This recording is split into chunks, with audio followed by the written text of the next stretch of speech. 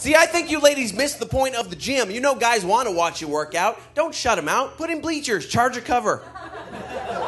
How much more awesome would your workout be if you had a cheering section going, one more squat, one more squat?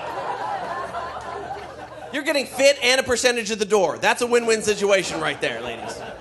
Just dudes with their faces painted the same color as your yoga pants,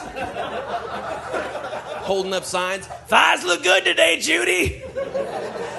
Those arm flaps, Mabel. John 3:16 cuz that guy's always there for some reason. I don't know why he's there.